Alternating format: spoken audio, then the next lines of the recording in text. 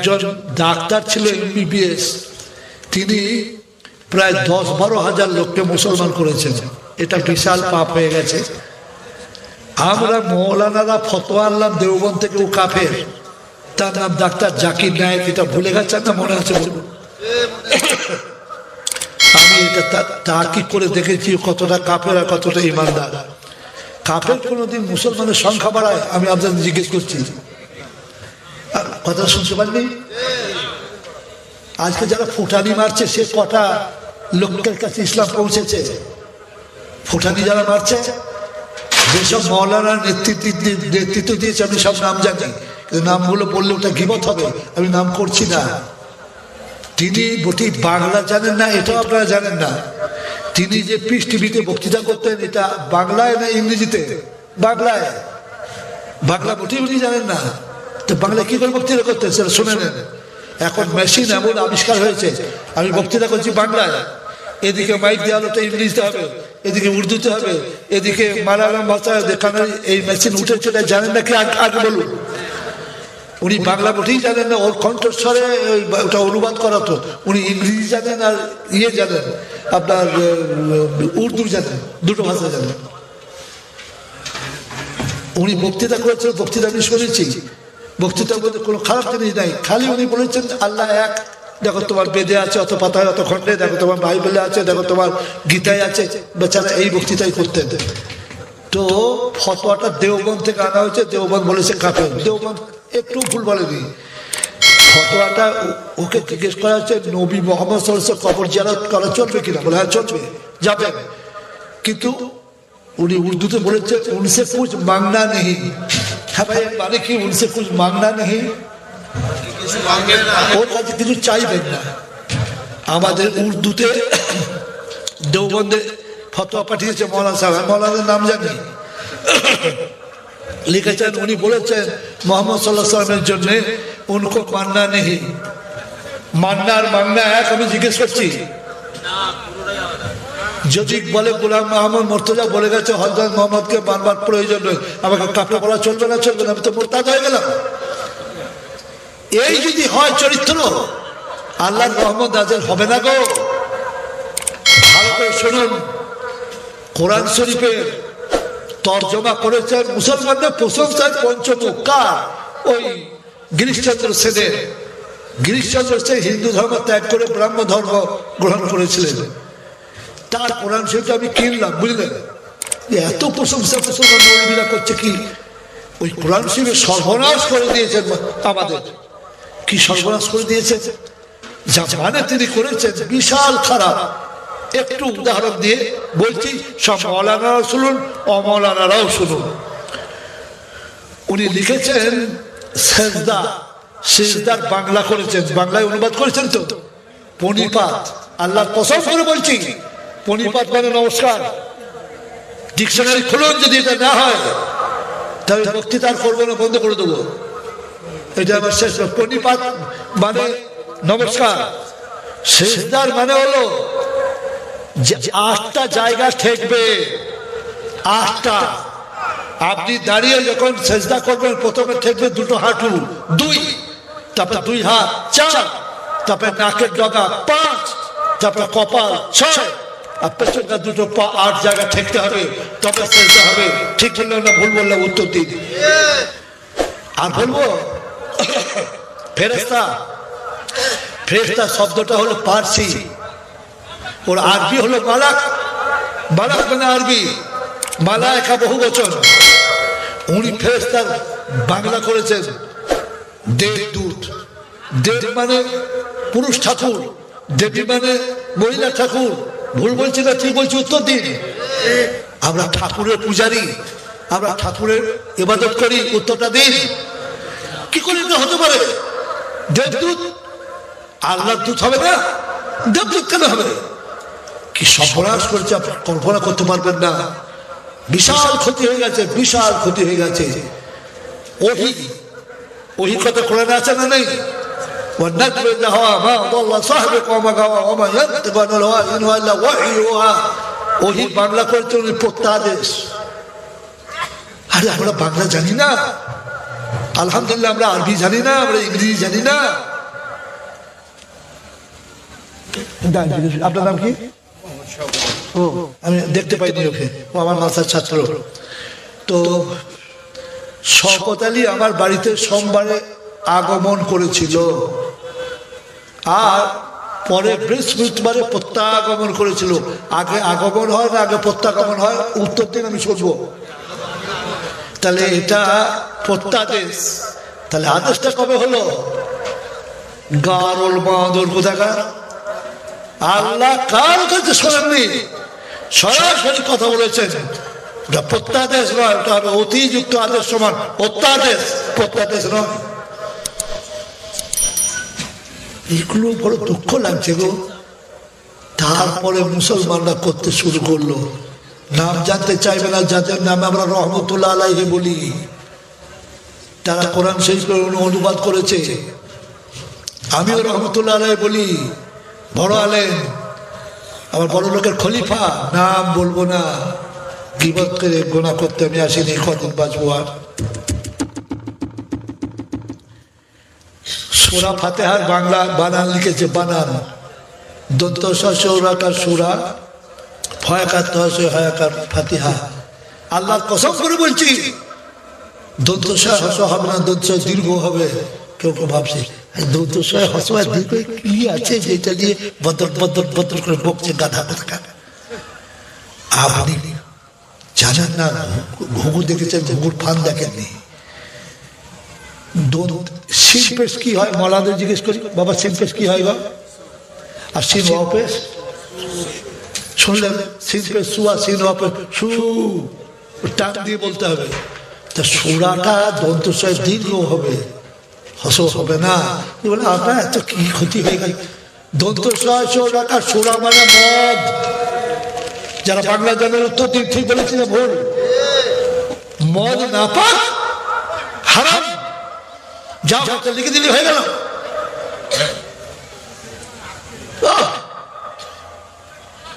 আল্লাহ নবী যদি আজ থাকতেন, আর তিনি যদি আজ আমাদের আসার নামাজ পড়াতেন, তাকে ছাড়া কাকে আমরা বলব নামাজ পড়াতে? তার চেয়ে বড় আর কে আছে? তিনি যদি আলম তারা পড়তে পড়তে আটকে যেত লুকমা দেওয়ার অধিকার আমাদের ছিল না ছিল না। হতভাগা বাঙালি কেন জানলো না?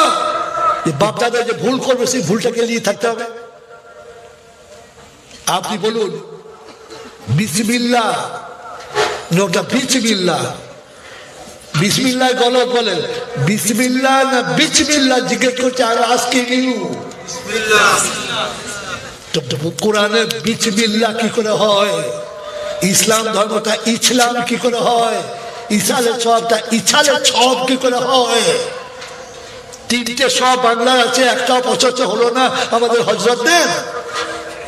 হজরত আমাকে বদ্ধ করবে। আমার বদ্ধ নেই।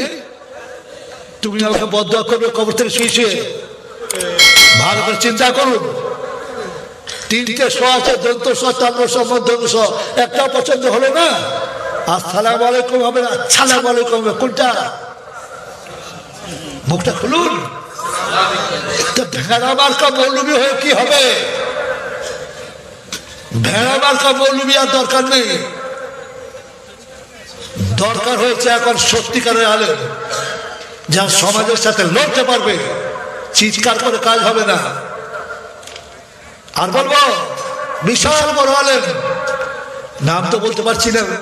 ইয়ে হবে বলে, ইন্না আতয়না কাল কাউসার মানে করেছেন মানে করেছেন হে মোহাম্মদ আপনি বলুন আপনাকে আমরা কাউসার দিয়েছি মানে কাউসার হাউস দিয়েছি যেটা খেলে পেঁয়াজ লাগবে না আল্লাহ কটা হাউ মেনি আল্লাহ আল্লাহর ক্ষেত্রে আমরা হবে না আমি হবে আপনি সামান্য বুদ্ধিতে উত্তরটা দেন মৌলানাদের বড় বড় বুদ্ধি দরকার ধর্ম দরকার নেই কখনো আমরা বলা যায় এটা হারাম? সর্বনাশ হয়ে গেছে সর্বনাশ। আমি একটা জায়গায় জোহরে নয় পড়বার জন্য জায়গা খুঁজছি। আমি নয় পড়ার জায়গা নেই বলে এই হোস্টেলটা মুসলিম হোস্টেল। এটা ওই আমার কলেজের বীরভূম জেলায়। বীরভূম জেলায় বলছে আপনি হোস্টেলে যান। গিয়ে বলে বাবা এটা মুসলিম হোস্টেল? বলে হ্যাঁ। আমি একটু জোরে নামাজ পড়ব তা বললে উম, হ্যাঁ বলব না করব করে আমাকে জায়গা দিলাম আমি নামাজটা পড়ে চলে আসতে একটু নাস্তা করে দিলাম না বাবা নাস্তা করব না। আমার খাওয়া দাওয়া হয়েছে আমি উম, জলসাই যাব। তখন আমাকে বলছে হুজুর একটা বাংলায় কোরআন শরীফ পড়েছি ওটা পড়া চলবে আমার একাও চলবে না পড়বে। কার কার অনুবাদ? বললে হজরত মৌলানা অমর। মৌলানা সাহেবের নামে হজরত না বললে খুব রাগ। আমার নামে হজরত বললে না। হজরতটা চাই।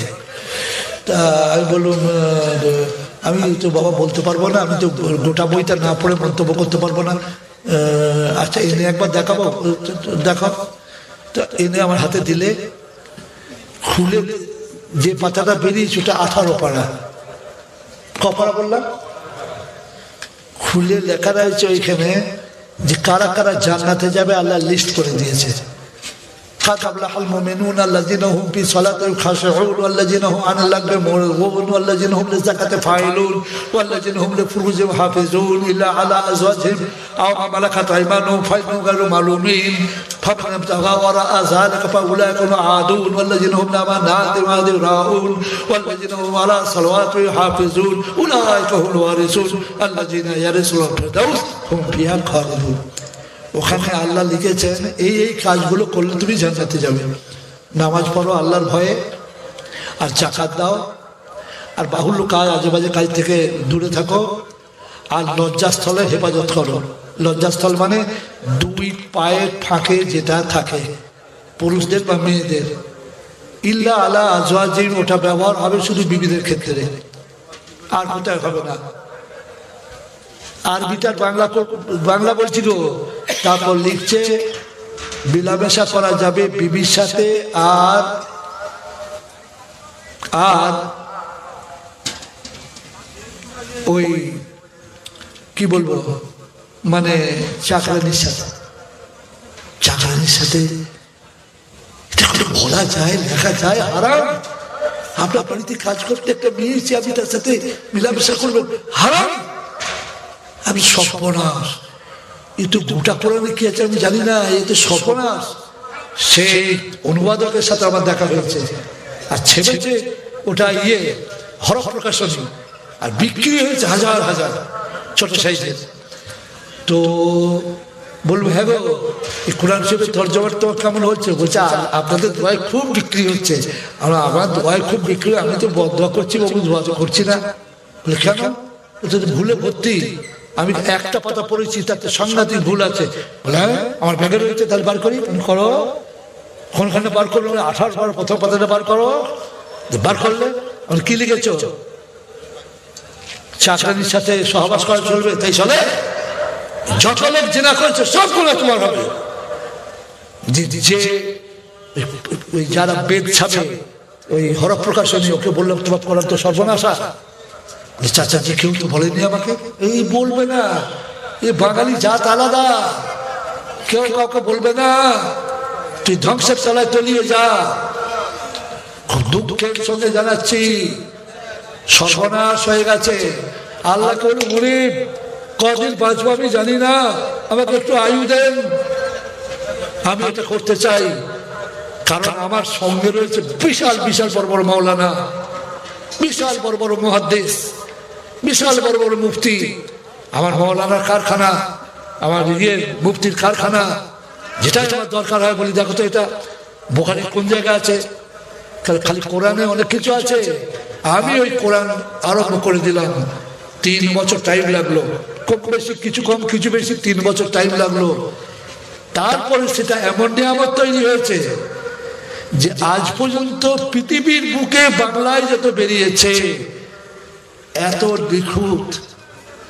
এরপরে একশো বছর বাদে আরও ভালো হবে। আপাতত বেরোয়নি। সেটা আজকে এনেছি আমি। হাদিয়া কত? এক হাজার টাকা। কিন্তু এইরকম মোটা, এরকম সাইজ শকত? শকত? গাড়ি থেকে এক- একটা নিয়ে এসো একটা কোরআন শরীফ তিরিশ পারা নিয়ে এসো। খালি একবার চেহারাটা দেখুন। ওতে এইরকম আছে। আল্লাহ নবী বলেছেন যে সোরা ফাতেহা সব রোগের ওষুধ নবী বলেছেন, কোন হাদিসে? কোন হাদিসে কত পাতায় কত খণ্ডে এক এনসাইক্লোপিডিয়া হয়ে গেছে। বড় বড় করে আরবি দিয়েছি, যদি আরবি কারও পড়ার শখ হয়, আরবিতে পড়বে। আর যদি আরবি জানে না কিন্তু আরবিতে পড়ার শখ আছে, তার উচ্চারণ লেখা আছে। আর আরবিতে শুদ্ধ উচ্চারণ বাংলায় হবে না, তবু আজ পর্যন্ত যত বেরিয়েছে, এটা বোধ হয় তাদের ভেতরে সেরা হবে ইনশাল্লাহ আর বাংলাটা খুব সহজ দিয়েছি, যাতে ফাইভ সিক্স পড়ার ছেলেমেয়েরা পড়তে পারে। কিন্তু একশো চোদ্দটা সোরার সম্বন্ধে যেটা লিখেছি, ওতে ডাক্তার ডাক্তার উকিল ইঞ্জিনিয়ার প্রফেসর বা বিজ্ঞানীরা যেন খোরাক পায়। আমি একবার দেখি, আমি চলে যাচ্ছি। আপনারা আমাকে দোয়া করবেন, আমি আপনাদের দোয়া করব। খালি একবার দেখেই চলে যাচ্ছি। হ্যাঁ একখানা কোরআন শরীফ পাঠক কোরআন শরীফ, আমার যে ড্রাইভার আছে, ও শিক্ষিত, উত্তম দিকে চিল্লা দেওয়া ছেলে। ওর সাথে আমি জামাতে নামাজ পড়ি, গাড়িতে থাকে আমার। তো কোরআন শরীফের চোখে দেখুন, ওই কোরআন শরীফ যদি আপনার বাড়িতে ঢোকে, আপনি প্রতিদিন আজ আজ পাতা করে খালি পড়বেন। আপনি আরবি পড়তে পারেন আরবি পড়বেন, উচ্চারণ করতে হলে উচ্চারণ করবেন, অনুবাদ করতে হয় অনুবাদ করবেন আপনি পড়ে যদি দেখেন যে আমার ঘরে বরকত শুরু হয়ে গেছে, তাহলে আমাকে একটু দোয়া করবেন। আর যদি দেখেন যে উল্টো হয়ে গেল, তাহলে খবরের কাগজ দিয়ে লিখতে বা গাডার দিয়ে লিখে আমার ফেরত দিয়ে দেবেন। বলে আপনাকে ফেরত কি করে পাবো? এই আমাদের হাসান ভাইয়ের বিআইকে দিয়ে দেবে। ও- তো আমার ছেলের এ, শ্বশুর। আমার ঘরে পৌঁছে যাবে আপনি টাকা পেয়ে যাবেন। লাট আর করতে দেবেন টাকা। এটা আল্লাহ কবুল কীভাবে করেছে আমি বলব আমার পেছনে যে কি পরিশ্রম ওরা করেছেন তা আমি দোয়া করছি। হ্যাঁ বার কর বার কর তাড়াতাড়ি বার করো। কাউটা তাদের ইয়ে করে দাও কাউটা ছিঁড়ে দাও। অঞ্চলে দেখাতে ও কোথায় কি দেখবে? আপনার ভাবছে এত মোটা কি করে হলো? মোটা হলো এতে অনেক মাল বস্তা আছে। হ্যাঁ হ্যাঁ।